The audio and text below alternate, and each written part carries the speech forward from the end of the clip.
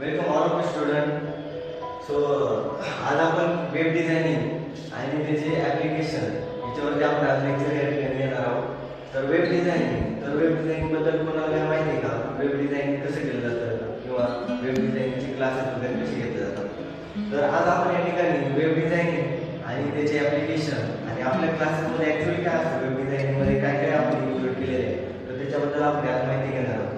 तर web designing हा class साधारणतः six month to one year हे दोन्ही पण याच्यामध्ये आपण घेऊ शकतो. सिक्स मंथचा घेतला तर त्याप्रमाणे तसं शेड्यूल असतं. वन इयरचा घेतला तर त्या पद्धतीने शेड्यूल असतं. सिक्स मंथ बेसिकली वेब डिझायनिंगसाठी सर्व्हिस येत आहे तर वेब डिझायनिंगमध्ये आपण हे काय काय करणार आहोत? तर आपण काय करणार आहोत? की वेब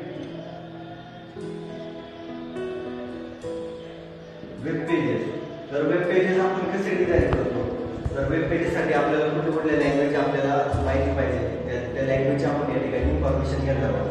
तर वेब पेजेसमध्ये आपण एक- वेब पेज आपल्याकडं जे डेमो आहे तुम्हाला जे असाइनमेंट आपण प्रोव्हाइड करणार आहोत तर त्याच्यामध्ये हे टॉपिक इन्क्लूड केलेले आहे. त्याच्यानंतर वेब लँग्वेजेस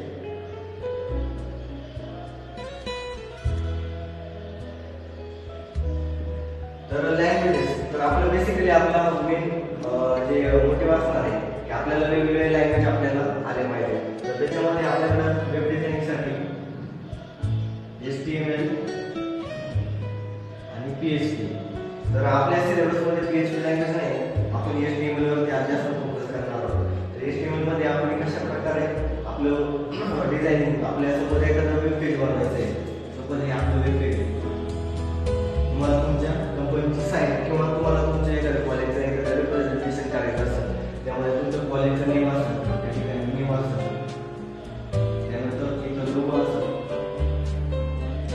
आपलं कंटेन कंटेंट असेल नेम देन आपला ॲड्रेस देन या ठिकाणी एक सबमिट बटन असतं आणि या ठिकाणी क्लिअर बटन असेल आणि या ठिकाणी टेक्स्ट बॉक्स तर हे टेक्स्ट बॉक्स आणि हे नेम वगैरे हे कसं घेतलं जातं हे आपण आपण आजच्या क्लासमध्ये आपण पाहणार आहोत तर S T M L S T M एलबद्दल तुम्हाला जास्त काही माहिती नसेल तर किंवा असेल तर रेस्टेबल टी म्हणजे हायपरटेक्स्ट ट्रान्सफर मार्कअप लँग्वेज जे आपण इंटरनेट पाहतो याच्यावरती आपण सर्च करतो त्याच्यावरती वेगवेगळे आपल्याकडे वेब पेजेस असतात.